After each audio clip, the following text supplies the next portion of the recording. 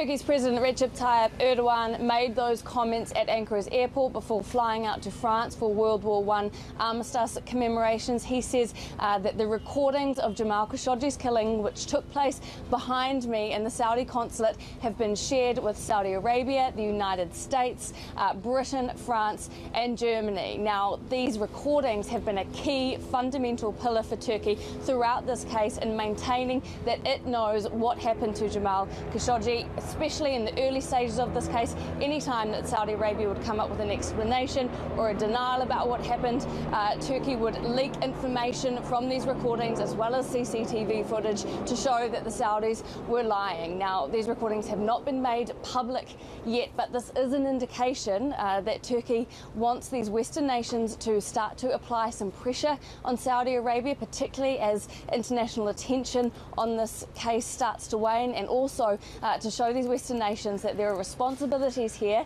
and that this case cannot be ignored.